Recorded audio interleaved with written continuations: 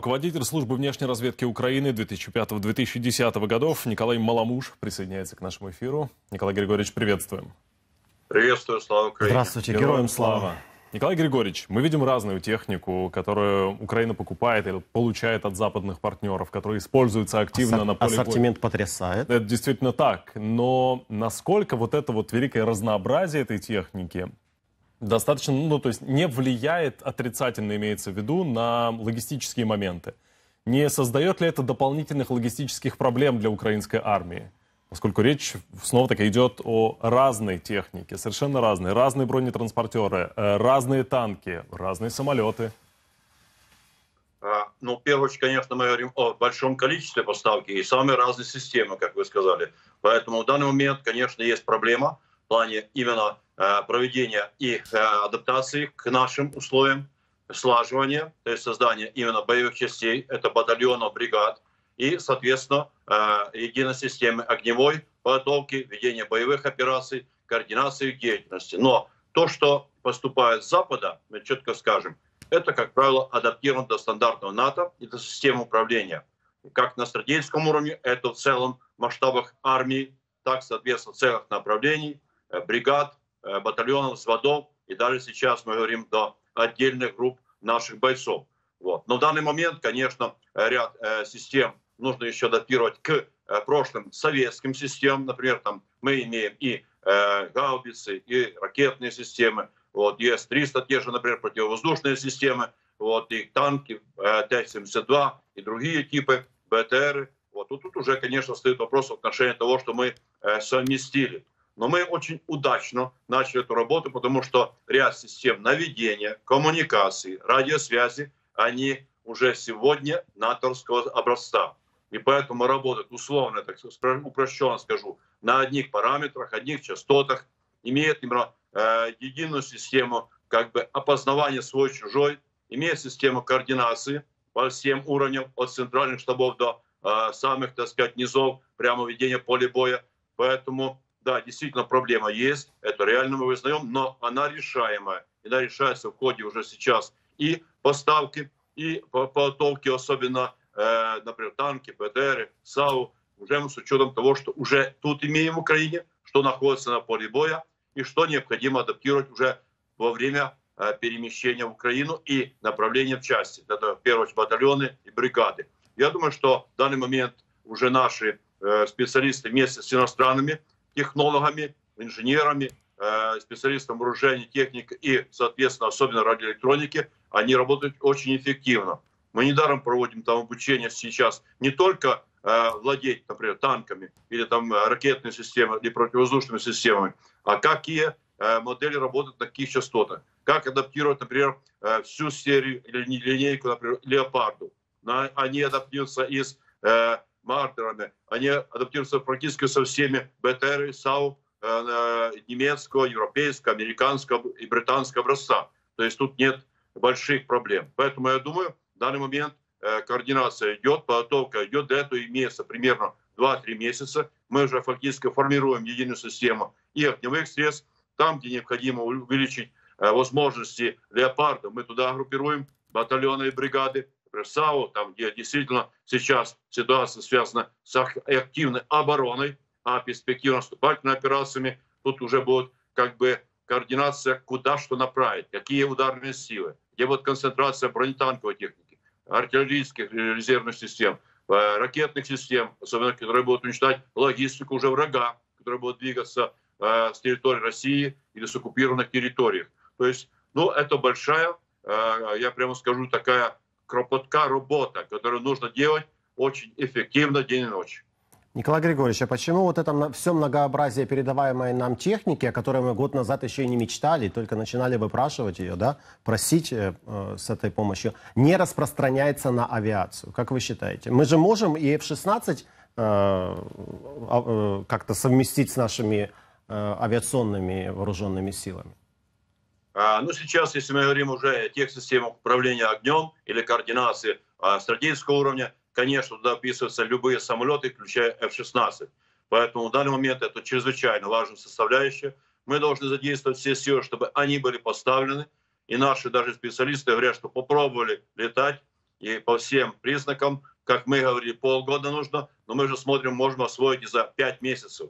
А хотя наши американские коллеги говорят, что это э, где-то год, год и три, год и э, шесть месяцев. То есть они давали нам стандартные какие-то ускоренные варианты. Мы воюем, мы это все имеем на фронте, в боевой ситуации, поэтому быстро осваиваем. Тем более сейчас наши пилоты, они же эффективно разбираются в системах управления, радиоэлектроники, наведения, защит, а, а, маскирование, маскирование, как мы говорим. В данный момент все это работает. Но э, две причины. Первое, то, что э, наши коллеги из США и все э, приняли на Рамштайне концепцию, что сейчас необходимо те средства, которые мы осваиваем очень быстро, и они идут в бой. Или в крайнем случае нужна подготовка где-то 4-8 недель. Это то, что мы осваиваем, начиная от дальнобойной артиллерии, ракет, противовоздушных систем, начиная от Патриота с более сложных танков, БТР, БМП, вот, соответственно, радиолокационных систем, то, что может быстро быть задействовано в обороне, сейчас Бахмут, Авдеевка, э, Вугледар, Свято Кременная, что чрезвычайно важно. И самое главное, по плане подготовки тактических, стратегических наступательных операций. То, что мы успеваем. А наши коллеги рассматривают, что это может быть на протяжении двух-трех месяцев. Как и сказал, кстати, и министр обороны Резников, что это может быть конец апреля. Мы говорим, может май, может июнь, но в этот период уже помещается вся система поставок вооружений, техники, самое главное, боеприпасов разных типов, дальнебойной артиллерии и, самое главное, ракет дальних э, радиуса действия до 150 километров. Вот это все сейчас быстро собирается. Они представляют, и Остин и Милли неоднократно говорили, да, сейчас самолеты быстро не могут поставлены быть, они не будут освоены на протяжении там, 3, 4, 5 месяцев. И мы уже говорим, что полгода. Это уже немало. Они говорят еще больше. Кроме этого, еще аэродромы полосы, кроме этого, система управления этими самолетами. И кроме этого, самая очень большая составляющая – это ремонтная и обслуживающая база мало э, внимания обращаем на наземные службы. Это ежедневный, ежесуточный ремонт, регламенты работы по самолетам, это целые системы, конечно, и управление ими, и, соответственно, ремкомплекты, которые должны быть. И специалисты, не только летчики, а большое количество инженеров, техников, партнеров за рубежа, возможно, э, комплектующих. То есть это громадная, громадная работа. Я сам был также, кроме разведки, еще авиации. Это не делается за месяц-два, при самых лучших наших показателях. Но это нужно делать, потому что это наша перспектива. Если мы даже э, выгоним врага с территории Украины, мы это сделаем точно. В ближайшие, например, месяцы нам самолеты такие нужны будут для создания очень мощной системы обороны на будущее. Николай Григорьевич, скажите, пожалуйста, в процентном соотношении против кого воюем? Ну, то есть, э, э, сколько в процентном соотношении занимают, например, те же вагнеровцы, сколько Э, новоиспеченные мобилизованные, сколько регулярные войска страны-агрессора? А, ну, на сегодняшний день мы смотрим, что именно вагнерцы а, просто сузили а, направление, особенно по Бахмуту. И сегодня Пригожин пытается именно доказать, что как он обещал Путину, так он решит задачи по Бахмуту. Поэтому он уже кричит о отношении того, что захватил там центр, юридический центр, что не соответствует действительности. Но если мы говорим о всей системе, вот именно возле Бахмута, так это примерно 30%. Потому что у него не хватает ни сил, ни средств, поэтому он концентрирует узкий участок э, борьбы. Другие участки занимают примерно 20 25% э, десантно-штурмовые бригады, примерно 30% это э, воздушно-десантные войска, часть именно небольшая, там где-то 7-8%, это, конечно, представители ДНР, ЛНР, мобилизованные, те, которые подтягиваются, но уже частично обучены. Но и дальше там уже морская пехота, это процентов также 7-8, не больше. То есть примерно профессиональной части, которые находятся в окружении, если мы говорим полу окружении Бахмута. Но они терпят сегодня поражение, мы их перемалываем очень активно. И мало того, они э, для того, чтобы мы не начали контрнаступы прямо на Донецк, прямо мы говорим, на, возле Угледара, возле Авдеевки, Свато-Кременная, они вынуждены держать также большие подразделения и также более-менее профессиональные. Поэтому в данный момент это все ВДВ, ДШБ, десантно-штурмовые войска, морская пехота и держат его в Угледаре, и бросают на Авдеевку, бросают на Сватого Кремена две дивизии, соответственно, ну и Бахмут. Уже тут э, сборная солянка всех. Те, что я назвал, еще подтягивают новых мобилизованных и планируют подтянуть, потому что больших профессиональных резервов нет. Есть небольшие части. Вот вчера буквально ребята фиксируют. Прибыли ДШБ, дистанционная бригада, вот, в неполном составе, ограничено, и пытается прорываться дальше. Но их сравнительно уже мало. Больших подразделений для того, чтобы развернуть дополнительные резервы и наступать на Бахмут, захватывая, на Авдеевку, как они сейчас второй приоритет ставят, ну и на другие регионы практически нет. Это э, как бы э, ознака того, что они выдыхаются, потому что закрыть дыры мобиками не смогут. Вот это то, что сейчас имеет, это все брошено туда. Ну, мало там не только десантников, тают ряды и вагнеровцев. И вот учитывая жесткий конфликт Пригожина с Министерством обороны э, Российской Федерации, как вы считаете, какой будет в будущем роль э, ЧВК «Вагнер» э, в этом нападении России на Украину? А, я считаю, что сейчас вагнеровцы просто бросают на самые а, такие тяжелые участки, чтобы просто-напросто уничтожить это подразделение в целом. Вот, и как раз понизить и статус и самого Пригожина, дискредитировать его, и военные для этого все делают. Вот неоднократно уже э, э, кричал на всех направлениях, что меня бросают специально на убой, ограничит поставку вооружения, техники, особенно боеприпасов. Вот эта война продолжается. Он пытается сейчас дискредитировать военные, что они, военных, что они не могут решить задачу. И он единственный решает проблему по Вагнеру, э, вагнеровцу э, по Бахмуту. Это я прямо еще раз подтверждаю то, что Путин является как э, ну, э, уже момент истины. Он уже не может смириться, почему не захвачен Бахмут. Поэтому и э, Шойгу, и Герасиму обещали ему сделать разные сроки. Пригожин также. Сейчас идет соревнование.